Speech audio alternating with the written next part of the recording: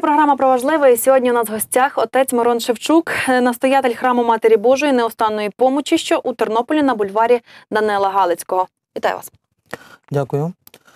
1 Е, липня у Тернополі відбудеться визначна подія для усіх християн, а саме проголошення нового церковного свята. Розкажіть е, більше, що це за свято? Найперше, дякую вам за запрошення, щоб поділитись тою інформацією, скажімо, донести її глядачам. Також хотів би телеглядачів привітати. Слава Ісусу Христу!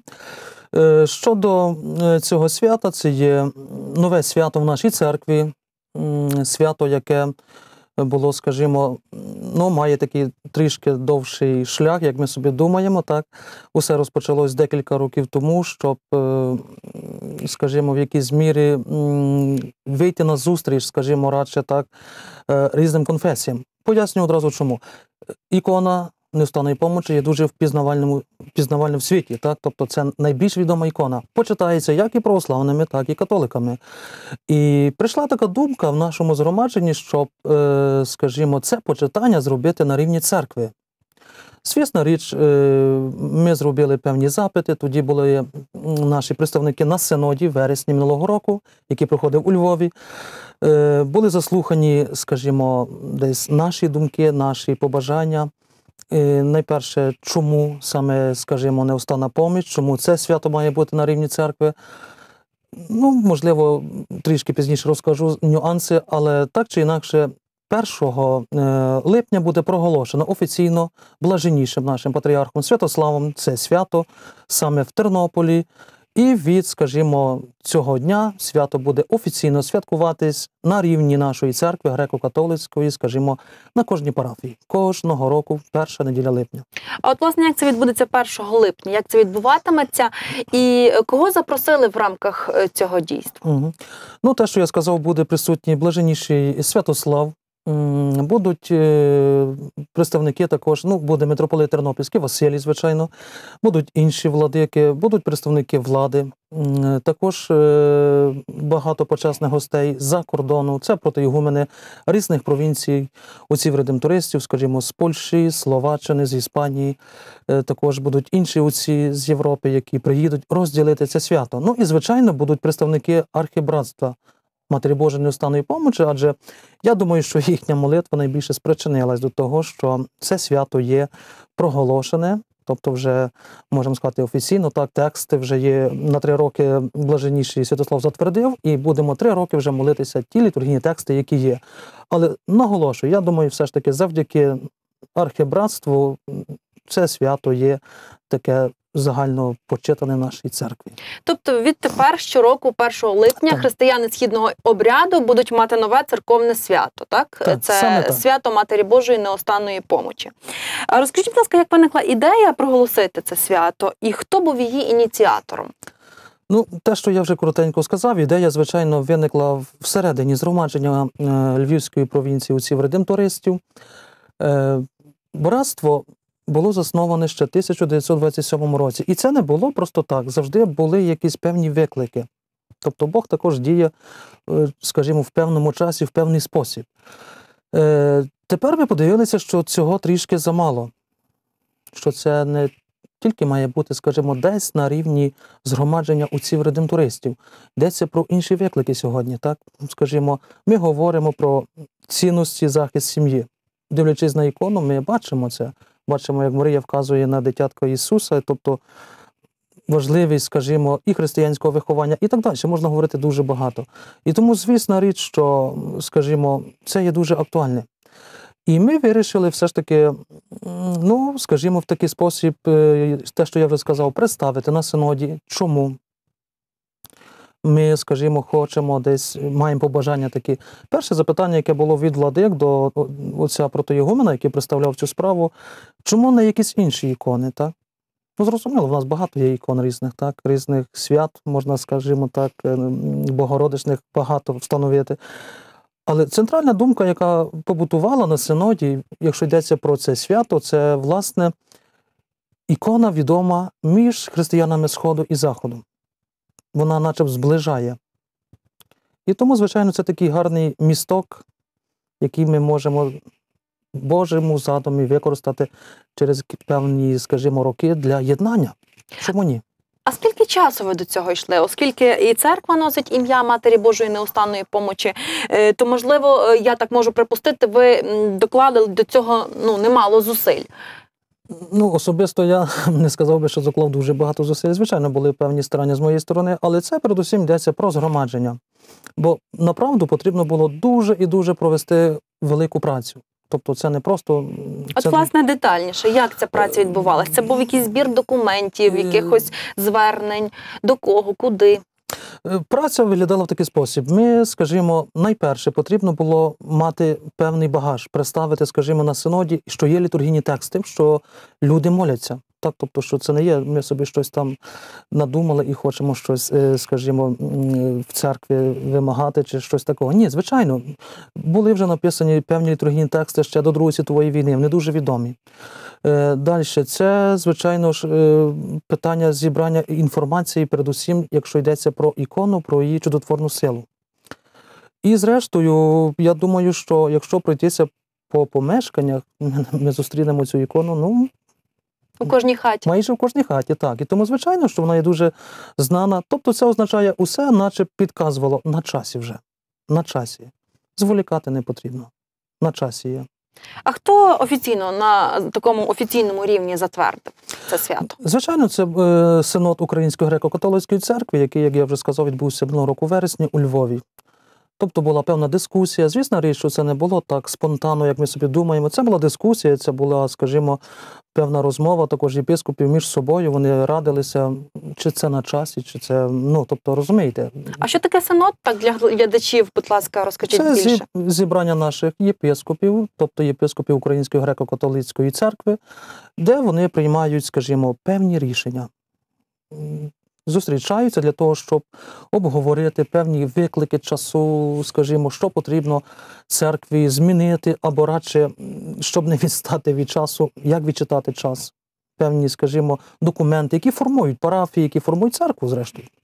В рамках події ви також запросили членів архібратства Матері Божої неустанної помочі. Е, розкажіть більше про це братство, як воно виникло, і що це взагалі за зібрання таке? Мгм.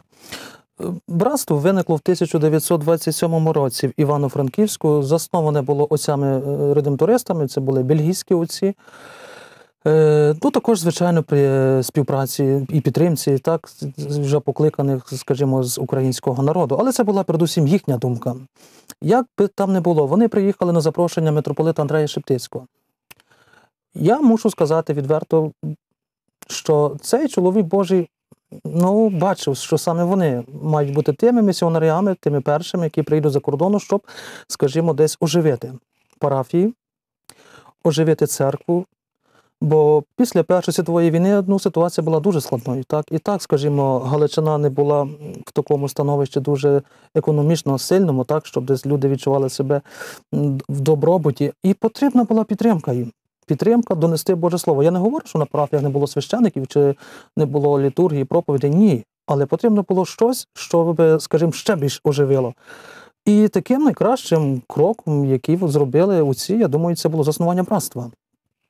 Братство, яке на парафії, ну що вони робили? Звичайно, збиралися, молилися, далі допомагали одні одним, бо бачили потребу тих чи інших містечках чи в селах. Тобто це було не просто молитовне братство, це було також те, що казав Христос, скажімо так, молитва, праця. Це все поєднувалось. І звісна річ, що завдяки їхній молитві і мові, якою вони розмовляли, вони десь, скажімо, втримали церкву, втримали ідентичність українську на таких маленьких е, теренах Галичини. І згодом, це вже коли перейшло в підпілля, ці братства, як на мене, були фундаментом, тому що люди молилися. Так, храмів не було закриті, але ж по своїх кімнатках, квартирах збиралися і молилися. І завдяки молитві, власне, ми от вийшли з підпілля, і сьогодні ці братства знову набирають нової сили, бо вступають в братства. І перші умови, які є, скажімо, при вступі до братства, це є почитання Богородиць, привселюдне почитання.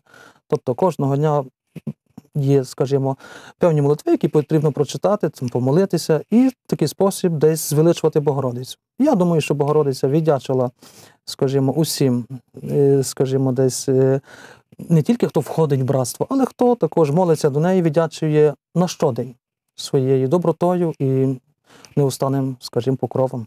Ну, а щодо, скажімо, сьогоднішнього часу і архібратств, вони також є на кожній парафії майже.